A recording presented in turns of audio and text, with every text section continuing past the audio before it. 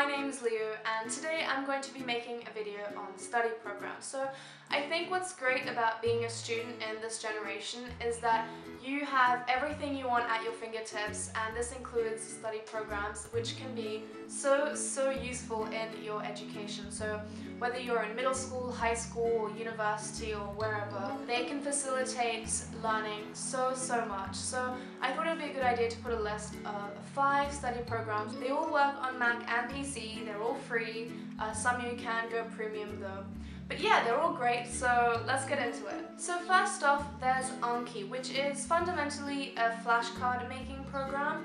It's very straightforward, really easy to use, and can be so helpful. So basically, you can create decks, you can customize them, add definitions, and then you can test yourself. So uh, this is really easy to use. It's very similar to Quizlet, though of course you can access it without needing the internet, so that makes it very useful. So yeah, I definitely recommend you try it out. So the second program is called f.lux. I'm not really sure if that's how you pronounce it, but I've only recently downloaded it and it has saved my life. So basically what it does is it alters the color of your monitor according to the time of day. So this is so, so useful for those of us who stay up late uh, writing essays or studying because often the light from the laptop screen can be really uh, harsh and can prevent you from going to sleep. It puts ease on your eyes and it changes the colors to make it more natural. It has made staying on my laptop at night so much easier so this is a definite 100% I recommend it.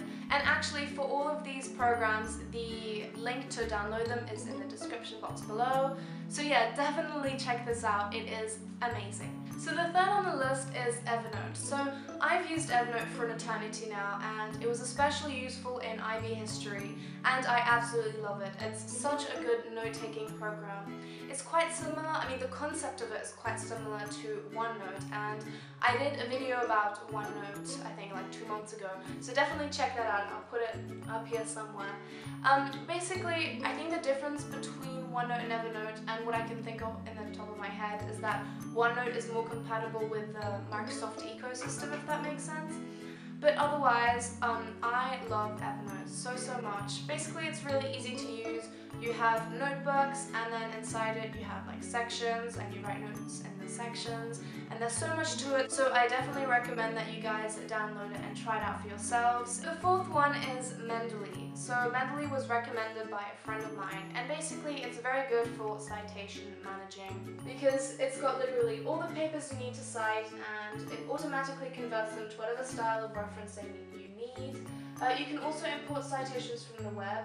I haven't personally used this yet uh, because at the moment I'm not at school or at uni, but I definitely will once I do start uni. It just seems like a really useful program because I feel like citation is always something that's a hassle to do, so anything that can facilitate uh, bibliographies and citations in general is really good. And then last but not least is Dropbox. So I'm sure you guys have heard of Dropbox before, and I know it isn't study related specifically, but it has saved my life so many ways when it comes to uh, my work.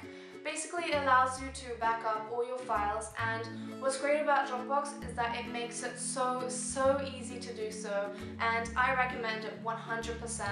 So many times have I lost files, and it's been an absolute disaster, so I think that it's so, so important to back everything up. This is like a serious thing, you know, have it on a hard drive, have it on Dropbox, have it on your computer. Your files, especially the ones that are important, need to exist in more than two places, like at least two places. And the thing is, teachers and professors aren't going to accept uh, excuses like, you know, I lost it or my laptop crashed. So you really need to take responsibility for your work and make sure everything's backed up. So that's why Dropbox is so important to me.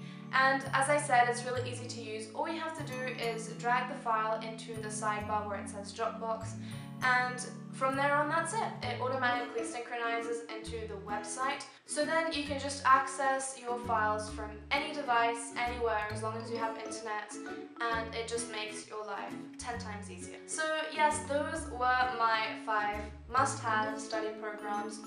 Uh, as I said before, all the links to download them are in the description box below and I hope you guys found this video helpful. I think, I wish I'd known some of these programs that existed before. If you do have it or if you just downloaded it, tell me what you think of it in the comments below.